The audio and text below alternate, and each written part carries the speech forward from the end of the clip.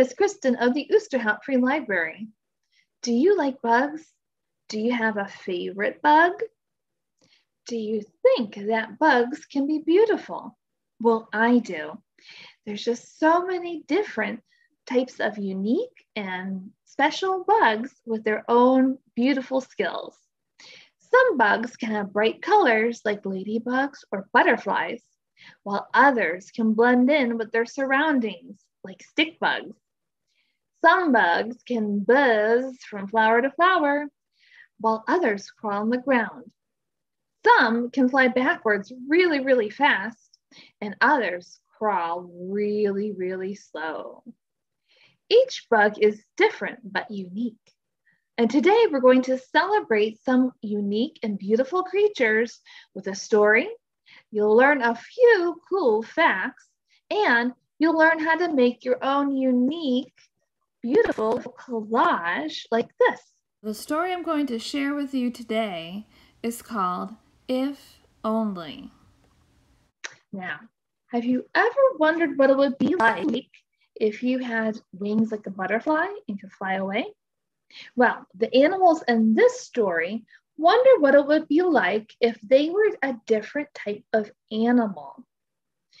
So while you're listening to the story, see if you observe anything unique about the bugs and the illustration or pictures in the story. So let's get started with if only.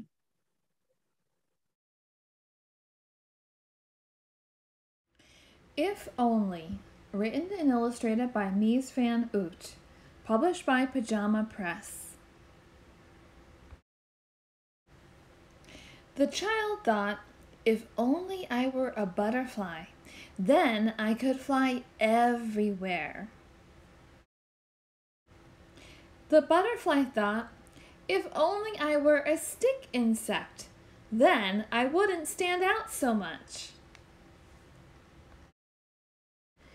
The stick insect thought, if only I were a whirligig beetle, then I could swirl across the water. The whirligig beetle thought, if only I were a firefly, then I'd never be scared of the dark. The firefly thought, if only I were a bee, then I'd always have friends to help me. The bee thought, if only I were a spider, then I could do everything myself. The spider thought, if only I were a ladybug, then everyone would think I'm adorable. The ladybug thought, if only I were an ant, then I'd be strong and tough. The ant thought, if only I were a snail, then I wouldn't be this busy. The snail thought, if only I were a grasshopper, then I could jump over things. The grasshopper thought, if only I were a dragonfly, then everyone would stop to watch me go by. The dragonfly thought, if only I were a child, then I could run, jump, laugh, play hide and seek, count, build houses, and so much more. The end. Let's take a closer look at some of the creatures featured in this story. Butterflies need warm muscles to fly, so they often sit on sunny rocks or leaves with their wings spread out. Stick insects are named for their clever camouflage. Their thin brown, black, or green bodies look just like the sticks they perch on. Whirligig beetles got their name because they swim in fast circles on the surface of the water. Fireflies flash their lights in certain patterns to find a mate.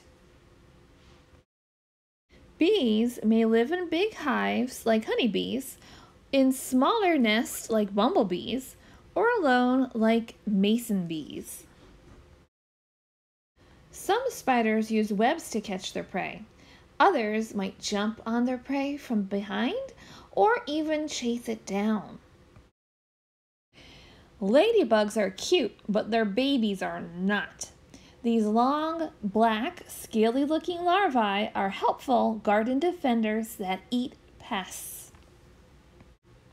An ant can carry objects from 10 to 50 times its own weight.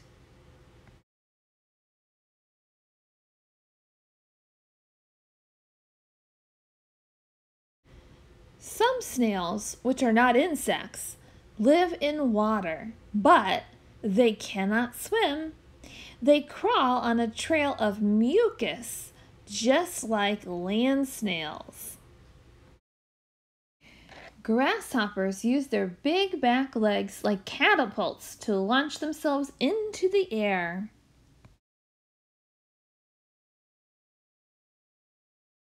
Dragonflies have some fancy tricks. They can fly upside down or backwards and can turn a full circle in the air. They also eat mosquitoes.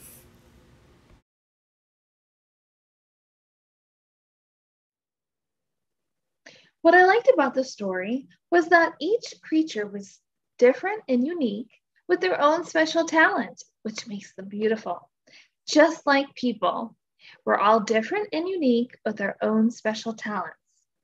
What I also liked about the book are the beautiful illustrations by Mies van Hout, who is the author and the illustrator. That means she wrote the story and she did the beautiful pictures. Now, observation is an important scientific skill. Did you notice anything about the illustrations or the pictures in the book? Does it look like she drew the illustrations with something like marker or something else? Now, if you look closely at the illustrations, you can see that they are made of different pieces of paper. And that style of art is called collage. And what that is, is that you take different bits of paper and cut it into different shapes and then glue it onto another piece of paper to make a new, unique picture. This is what she did to make this book. And this is what we're going to do today. We're going to make our own collage. Now, in the book, the illustrator shares how she made the illustrations for the book by painting colors on wet pieces of paper, letting it dry, then cutting it up into the shapes that she wanted, and then gluing it to a piece of paper. I'll include her directions in the description box below. She also suggested using colored scraps of paper or cutting up pieces of magazine to make a collage.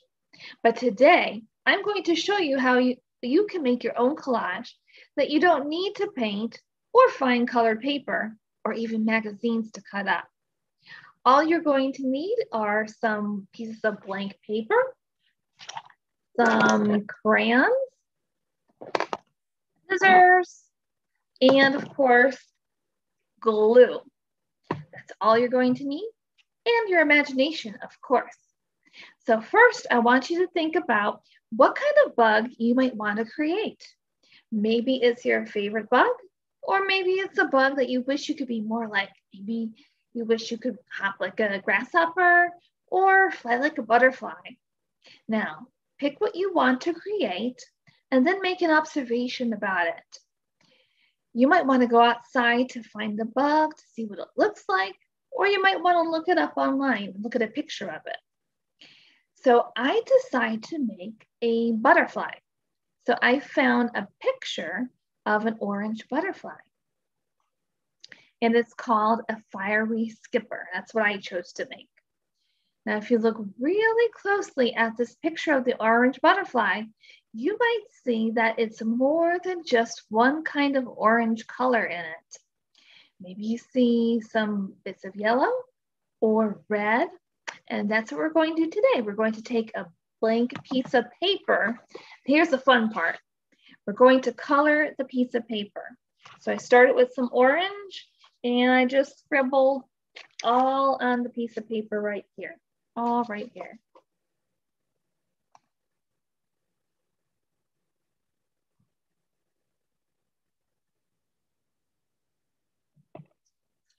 So I've scribbled up in here. Now, this is the fun part. It's not like a coloring sheet. You don't have to color in every single thing because you're going to look for some of the other colors like we mentioned before. So I just kind of scribbled it in like this uh, in orange and I noticed some red. So then I'm going to add some red, just like that. And I also noticed some yellow and I'm going to scribble in some yellow, just like that.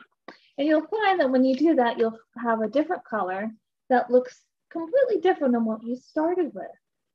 Now, once you've done that, you can cut out the shapes that you need for your insect. So you see here, I cut, cut out a shape for the wing of my uh, butterfly.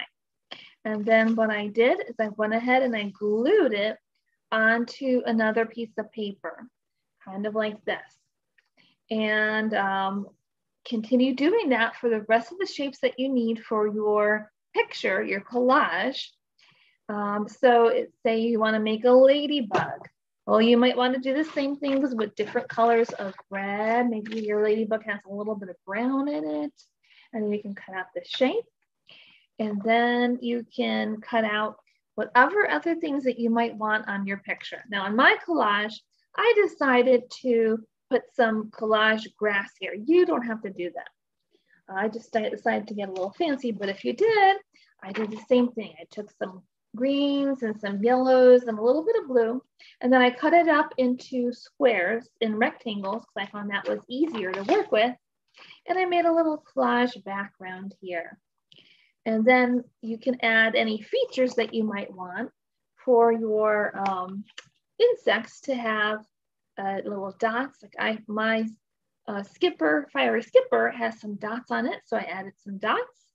And of course, ladybugs have dots on it. You can fill it in with a crayon or a marker. And now, when you've completed your beautiful, unique picture, maybe you'll be inspired to go outside and find your new favorite bug. Hope you had fun. Keep on exploring, and we'll see you next time. Bye.